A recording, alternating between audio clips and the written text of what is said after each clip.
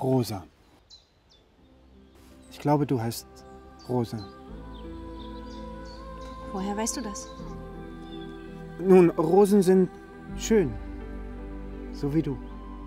Vielleicht habe ich aber auch Dorn. Macht's das nicht umso spannender?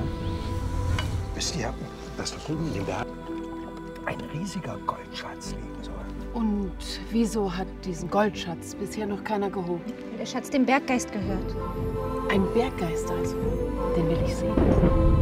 Ich hatte so viel Spaß wie schon lange nicht mehr. Die Herantin dringt in dein Reich ein. Sie stiehlt dir dein Gold.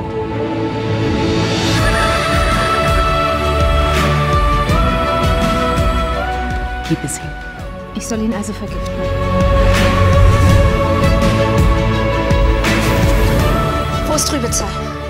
Was habt ihr mit ihm gemacht?